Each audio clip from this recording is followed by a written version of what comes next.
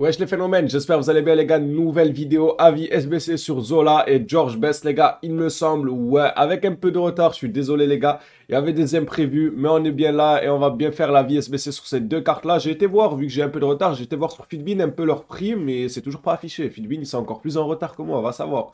1m68, taille et rendement du joueur, élevé moyen, meilleur pied droit, 4-4, déjà première page les gars, franchement rien à dire, a pas grand chose à dire, il est petit donc il va être maniable de malade, Certes, il a 86 de vitesse, mais le, fait qu'il soit petit, vous allez le sentir plus rapide.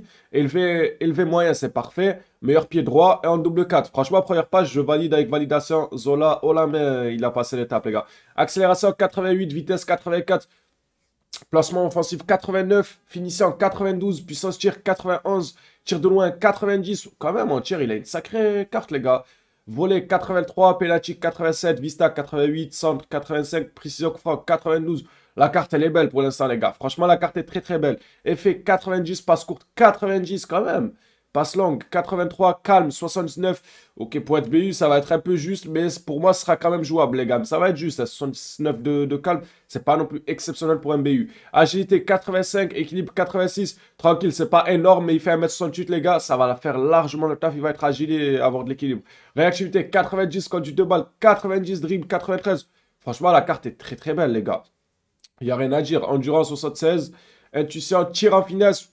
Il a une carte, les gars, en pur MOC très très belle. Pour moi, si tu veux vraiment pousser, il peut être jouable BU en double BU à côté de quelqu'un d'autre. En double BU, pas tout seul en pointe. Mais son meilleur poste pour moi, les gars, ça va être MOC. On va pas se mentir. C'est une très très belle carte que, bien évidemment, je ne vais pas déconseiller. Comme euh, tous les points forts que je vous ai dit, les gars, que ce soit statistiquement ou bien dû à sa taille, 1m68, il va être très très maniable. Pour moi, c'est une carte que je conseille Carrément, les gars. Vraiment, c'est une très très belle carte, Zola. Je sais pas s'il coûte cher ou pas. Peut-être que même moi, il m'intéresserait. Enfin, là, après, j'ai Ronnie, moi. Oh, il coûte pas si cher que ça. 88, 86, 84, 85. En vrai, c'est pas si cher que ça. Je vous ai pas égluré leur prix, les gars, dans les commentaires. Comme d'habitude, vous connaissez, les mecs.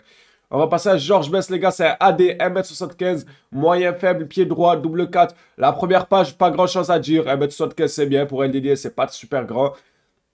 Juste sans rendement, dommage qu'il n'ait pas élevé faible, ça aurait été parfait. Mais on va pas faire les grincheux, les gars. Et comme je dis tout le temps, il y en a un moyen rendement qui sont quand même très forts. Donc on va pas faire les grincheux sur son rendement.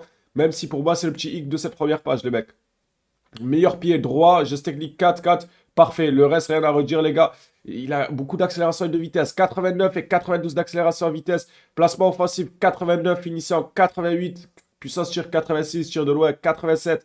Volet 86, Pelachi 87, Vista 89, Centre, on s'en fout, précision, non, on s'en fout pas pour un ailier. 84, c'est potable, les gars, on s'en fout pas pour un ailier. Il sera beaucoup amené à, centrer. Hop. Full sub sur une de merde. Passe longue, 88, effet, 85, agité, 91, il est pas mal agile aussi, équilibre 88, réactivité 89, quand tu de balle, 93, dribble 94, Uch, sa carte en dribble, elle est énervax les mecs, elle est vraiment énervax. Calme 93, précision de tête 86, détente 78, endurance 78. Elle est très très belle la carte. Là, franchement, ils ont régalé. Ils ont mis...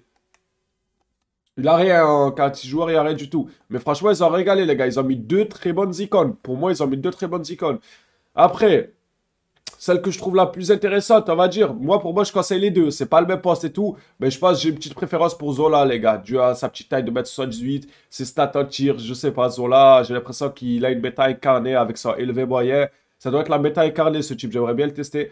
Bon, en tout cas, pour moi, les deux cartes, je les conseille. Bien évidemment, je ne déconseille pas. Best fait partie des meilleurs AD du jeu. Zola, des meilleurs MOC du jeu. Incontestablement, les gars. Hop. Ah, il coûte pas si cher que ça, lui aussi, les gars, en vrai. En vrai, ça va. Après, on verra quand il y a le prix. On verra si c'est vraiment je plane ou ça va. Mais personnellement, je trouve ça va. Je sais pas si le marché l'a augmenté ou pas grâce à ces deux cartes. En tout cas, voilà, les gars, c'était mon avis sur ces deux cartes-là. Bien sûr que je les conseille. C'est deux très belles cartes qui raviront votre équipe, les mecs. Dites-moi, vous, dans les commentaires, ce que vous en pensez de les cartes. Le petit like, le petit abonnement, c'est nouveau. Ça ferait extrêmement plaisir. Des avis SBC et des reviews joueurs. Et on aura tous les jours. Et en tout cas, merci pour le soutien. Et on se revoit bah, ce soir en stream sur moi, les gars. En espérant pas trop avoir la flemme avec ce rhume, mais normalement, j'aurai pas la flemme, les gars. On se ce soir